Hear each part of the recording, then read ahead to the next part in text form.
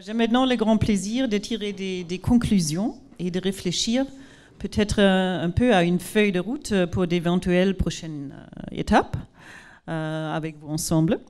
je pense que nous devons nous demander qu'est-ce que nous avons appris pendant la crise, mais aussi aujourd'hui. Et je pense qu'il faut aussi constater que nous avons une vision, hein, des bonnes idées. mais qu'est-ce que ça veut dire? Et euh, bon, si on regarde la définition, euh, la vision, c'est la capacité de penser ou de planifier l'avenir avec imagination et aussi avec sagesse. Euh, ça, c'est quand même intéressant. et tous les pays sont confrontés au même problème. On a beaucoup en parlé. donc, je pense qu'une approche conjointe d'un cadre commun aurait donc du sens en général question, c'est vraiment comment on peut le faire. Donc, par conséquent, nous devons nous aussi demander qu'est-ce qui empêche les pays de réaliser cette vision. Hein? Bon, je me suis demandé moi-même, et c'est peut-être parce que les pays ne prennent pas ces décisions, hein. euh, mais les gens le font. Ce sont les humains. Donc la collaboration est une entreprise humaine innée c'est l'action de travailler avec quelqu'un pour produire ou faire ou fournir quelque chose. Donc, par conséquent, nous devons nous aussi demander qu'est-ce qui empêche les gens d'accomplir la vision de la collaboration et d'un cadre unifié. Si on a toutes les bonnes idées, pourquoi on ne le fait pas? Nous avons appris de David euh, ce matin qu'une définition commune est essentielle. Si nous n'avons pas de définition commune, nous ne pouvons pas être sûrs de parler du même problème ou à un moment donné. Ceci est particulièrement important en ce qui concerne les normes et les ressources quantifiables. Il est également essentiel de permettre le partage de l'information et la communication, on a beaucoup en parlé, qui servent de base à une prise de décision éclairée, j'espère, en médecine et en politique également. Bon, ça, ça nous permet ensuite une décision objective sur quel type de et combien de ressources sont nécessaires. Nous avons entendu euh, différentes opinions de nos éminents euh, panélistes aujourd'hui sur le nombre de ressources dont nous avons besoin et sur la manière de garantir des sources de données valides et fiables. Il est essentiel de marcher dans les couloirs et de parler aux gens Michael a mentionné euh, que ce n'est pas la capture des données pure qui est importante, mais aussi l'appel de suivi pour enquêter sur la façon dont les professionnels de la santé font face à la situation telle qu'elle se présente. Les concepts de réserve de soins en France est une approche intéressante qui pourrait également être développée plus avant dans une pool européenne de ressources. Jean-Paul a mentionné que le processus de réflexion s'est arrêté et qu'il est difficile de saisir le nombre exact d'infirmières de nos jours. Donc peut-être pourrions-nous engager une éventuelle discussion supplémentaire ici et aujourd'hui pour revitaliser la réflexion. Je pense qu'on a déjà commencé. Nous savons tous qu'une réflexion à long terme est nécessaire pour se préparer à l'avenir. Cependant, même les normes euh, les meilleures et les plus, les plus unifiées qui traitent de la disponibilité des ressources ne nous fournissent pas des réponses sur comment on utiliser, comment utiliser un éventuel pool de ressources. Comme Marc euh, l'a mentionné, il ne suffit pas de comparer des chiffres. Les, différences culturelles et structurelles doivent être prises en, euh, compte et les processus doivent être, améliorés. C'est le sujet de rêve. on, euh, va, va travailler là-dessus, je pense. Je voudrais souligner ici, à partir de nos propres travaux, les différentes dimensions, dimensions culturelles à prendre en compte. Culture nationale, organisationnelle et aussi professionnelle.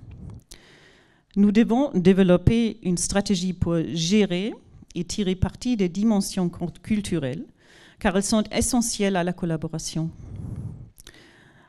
De nombreux intervenants ont parlé d'une grande collaboration dans les équipes de soins critiques en mode crise. Mais en temps normal, les professionnels de la santé retombent dans leurs vieilles habitudes et leur mentalité de silo qui sont définies par les spécialités comme l'a mentionné Laetitia.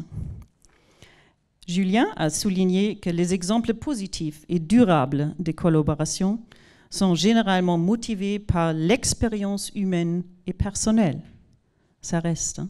Là encore, c'est le facteur humain qui prime. Et aussi, euh, comme on a appris, il faut donner une perspective aux jeunes afin qu'ils puissent, ou ils, veulent entrer dans la profession pour répondre aux enjeux des ressources humaines en général. Une dotation en personnel flexible pourrait accroître l'efficience et l'efficacité. Nous avons appris que des capacités élevées et des, infrastructures sophistiquées ne se traduisent pas nécessairement par une mortalité plus faible, comme l'a montré la comparaison entre l'Espagne et l'Allemagne. On a parlé de reskilling, retraining, la reconversion des unités hospitalières. Euh, on était pointu du doigt par Olivier et Laetitia. Euh, nous devons travailler avec ce que nous avons euh, et l'approche de, Ralph. Et bien sûr, il faut, il faut améliorer le processus. Euh, là, il faut des, healthcare managers ou managers de, santé. Bien sûr, cela n'est pas seulement lié aux ressources humaines, mais aussi aux matériaux et aux médicaments pour lesquels Pierre propose un sourcing stratégique au niveau européen. Nous avons entendu parler euh, des grands exemples nationaux qui ont la chance d'être euh, peut-être transférés dans d'autres pays, régions ou même au niveau européen. Garnaut euh, a développé l'utilisation et l'impact des approches de télémédecine et Michael nous a montré comment la gestion collaborative des capacités peut fonctionner dans l'avenir. Encore une fois, la question est de savoir comment le faire fonctionner et ensuite le développer en tant qu'entreprise commune. Les conférenciers ont convenu que la communication est essentielle et doit être améliorée. Myriam a soulevé des questions sur le manque d'échange d'informations euh, et par conséquent l'adoption de meilleures pratiques et de formation. Et Marc a souligné les effets positifs des médias sociaux aussi intéressant pour l'échange d'informations entre professionnels pendant la pandémie, qui devrait être analysé, je pense, plus en détail et éventuellement utilisé de manière plus ciblée. Mais quand même, c'est important que ça a bien fonctionné pendant ce temps-là. Quirino était plutôt pessimiste, euh, il m'a dit, quant à l'état actuel des échanges et de la collaboration. Bien que la question des ressources soit la plus pressante, nous, ne devons pas sous-estimer les valeurs culturelles, sociétales et économiques sous-jacentes qui ont un impact sur le changement réussi. Cela s'accompagne des questions éthiques profondément ancrées dans l'histoire des différents systèmes de santé. Je pense à discuter plus loin. Comme on a dit, il faut un autre événement pour ça. Ce qu'il faut aujourd'hui, c'est une, une une évaluation complète des besoins des patients, des ressources, des cultures et une éventuelle mise en œuvre qui comprend également le lobbying et une définition claire des rôles et des responsabilités qui peuvent conduire au changement. Et cette discussion en soi critique aujourd'hui est essentielle car elle n'est que le prélude à ce qui frappe le système de santé en général et pourrait servir peut-être de modèle de changement à un niveau supérieur. En conclusion, pour aujourd'hui, pour accomplir notre vision, nous devons d'abord proposer des moyens de collaborer et de faciliter la communication entre différents pays et cultures. Il faut considérer les cultures nationales, organisationnelles et professionnelles. Nous pouvons alors développer des stratégies et des approches conjointes de mise en œuvre. Et je vous remercie vivement d'avoir assisté à cette discussion et d'avoir partagé votre expérience et vos points de vue.